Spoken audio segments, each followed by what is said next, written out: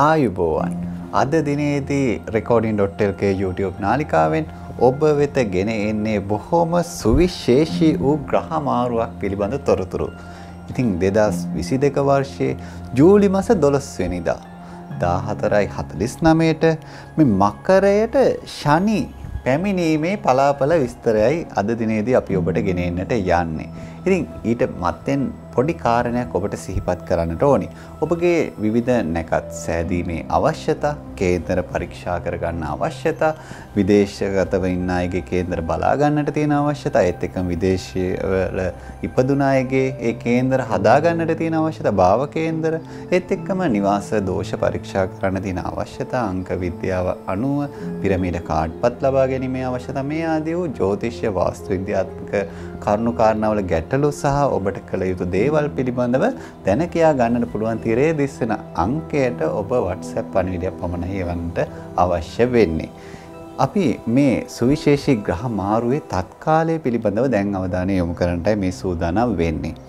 ලග්නය විදිහට පෙන්눔 කරන්නේ වෘශ්චික, ත්‍රිංශාංශක විදිහට පෙන්눔 කරන්නේ කන්‍යා, නවාංශ විදිහට පෙන්눔 කරන්නේ සිංහ. දවා දශාංශකය විදිහට පෙන්눔 කරන්නේ මකර. ඉතින් මේ ආදී විදිහට හෝරාව දෙර්කාණය සප්තාංශක මේ ආදී බොහෝ ජ්‍යෝතිෂ්‍යමය විග්‍රහයන් මේ තුල ඇතුළත් කරලා තියෙනවා. ඉතින් විශේෂයෙන් කියන්නට ඕනේ ශනිගේ දශාවක් අතුරු දශාවක් ගෙවනවා නම් මේ තියෙන බලපෑම ඊටාම වැඩි. එහෙම නැති අයට මේකේ තියෙන බලපෑම අවමයි කියන කාරණයක් තේරුම් ගන්නට ඕනි. මොකද මේ දශා භුක්තිය කියන එක වැදගත් මේ විදිහේ ග්‍රහ මාරුවක විස්තර පලාපල කතනය කරනකොට. තත්කාලයේදී බැලුවොත් එහෙම සුවිශේෂී ග්‍රහයන්ගේ ස්වභාවයන් ටිකක් තියෙනවා. ඉතින් ඒවත් එක්ක ඔබට මේ බලපෑම ඊටාම විශේෂිත වෙනවා. ඉතින් ඒක ගැන අපි අවධානය යොමු කරමු. බුද්ධ ගුරු සිකුරු කියන ග්‍රහයන් ඊටාම හොඳ බලයකින් ස්වශේෂ්ඨ බලයකින් තමයි ඔන්න ක්‍රියා කරන්නේ. කුජ මූල ත්‍රිකෝණ බලයෙන්ද ඊටාම යහපත් ප්‍රතිඵල ඔබ වෙත ළඟා කරන තත්වයකුයි මේ ග්‍රහ මාරුවත් එක්ක පවතින්නේ. ඉතින් මේ ශනි ගැනනේ අපි කතා බහ කරේ මේ ග්‍රහ මාරුවේදී ඔන්න ශනිගේ තත්ත්වයත් අපි නිසා මෙහිදී නිසි පරිදි විග්‍රහ කරගන්නට අවශ්‍ය වෙනවා. ශනි කුම්භයේ මූල ත්‍රිකෝණ බලයෙන් වක්‍රව දෙනට තුන්වන පාදයේ තමයි සිටින්නේ. අධිපති ග්‍රහය විදිහට පෙන්වුම් කරන්නේ කුජ. උප අධිපති විදිහට පෙන්වුම් කරන්නේ බුධ. ශනිගේ අවස්ථාව ගමන අවස්ථාවේ තමයි සිටින්නේ. දැන් බලමු මේ ග්‍රහ මාරුවත් එක්ක මොන විදිය තත්යකට මොන වගේ තත්ත්වයක් මේ ශනි ඇති කර ගන්නවද කියන කාරණාව. 2022 ජූලි 12 වෙනිදා 14:49ට ශනි මකරේ ස්වශේෂ්ඨ ගතවීමකුයි ඔන්න සිද්ධ වෙන්නේ. ඉතින් මේ වක්‍රව තමයි මේ ගමන සිද්ධ වෙන්නේ. දෙනට දෙවන පාදයට හා සභා අවස්ථාවට තමයි මේ ශනිගේ ස්වභාවය තීරණය කරලා තියෙන්නේ. එහෙම නැත්නම් ශනිගේ ස්වභාවය පත්වනකොට ඒ අවස්ථාවන් විදිහට පෙන්වුම් කරන්නේ. කුච අධිපති වෙනවා ඒත් එක්කම උප අධිපති බවට පත් වෙන්නේ බුධ. ඉතින් මේ ග්‍රහ මාරුව බොහොම සුවිශේෂී වෙනවා ඔබේ ලග්නයට.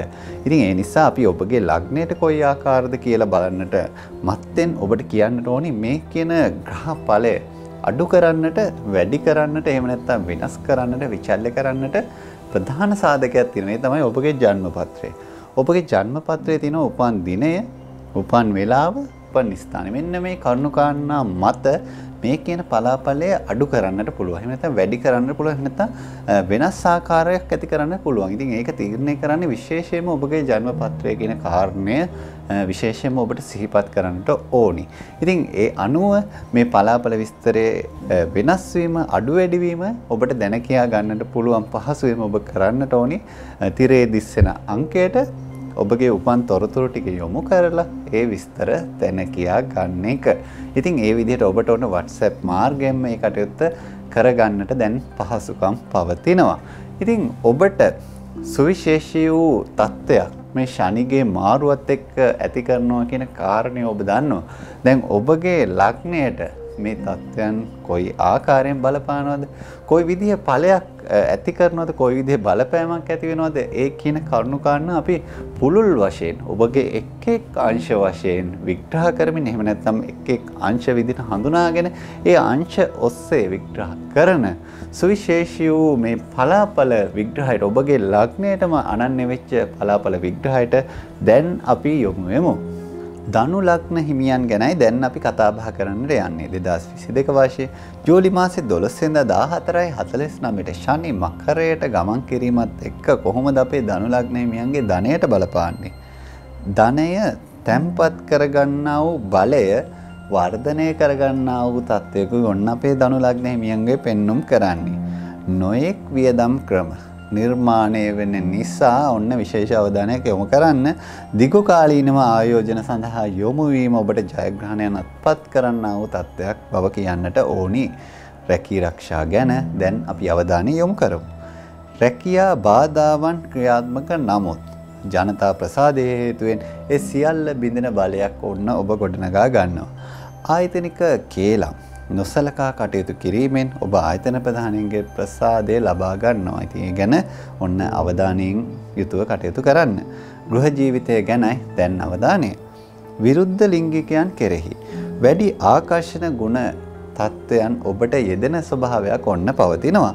පවුලේ අයෙකුගේ හදිසි කටයුත්තක් යෙදෙන තත්ත්වයක් තියෙනවා. අධ්‍යාපනය ගැන දැන් අපි අවධානය යොමු කරමු කොයි විදිය බලපෑමක්ද අධ්‍යාපනයට ඇති වෙලා තියෙන්නේ. අධ්‍යාපනය කෙරෙහි පියාගේ උනන්දුව අඩුවන තත්ත්වයක් වග කියන්නට ඕනි. ඔන්න පියවරුන් විශේෂයෙන්ම අපේ දනු ලග්නෙහිමි දරුවන් සිටින මේ ගැන අවධානය යොමු කරන්නට ඕනි.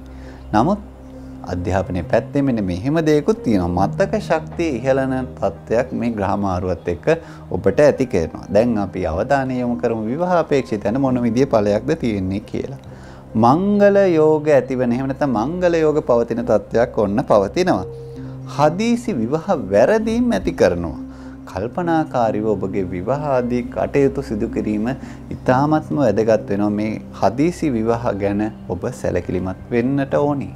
ඉතින් ඔබගේ ලග්නය අනුව මේ පලාපලය කොයි විදිහ වුණත් ඔබගේ උපන් දිනය උපන් වෙලා උපන් ස්ථානය කියන කරුණුකාරණ අනුව මේ පලාපලය අඩු වැඩි කරන නිසා වෙනස් කිරීම් කරන නිසා සංශෝධනය කරන නිසා ඔබගේ උපන් දිනය උපන් වෙලා උපන් ස්ථානයේ තිරේ දිස්සන අංකයට WhatsApp පණිවිඩයක් යොමු කරලා ඒ විස්තරයත් ඔබට ගෙදර ඉඳන්ම බලා ගන්නට දැනගන්නට පුළුවන්කම තියෙනවා. ඉතින් ඔබගේ ජීවිතය ඊ타මත්ම සාර්ථක වන කාල සීමාවක් ඔබගේ ජීවිතයේ ජයග්‍රහණයන් වලට යන්නට පුළුවන් කාල සීමාවක් ඔබගේ ආකල්ප සංවර්ධනය වන කාල සීමාවක්.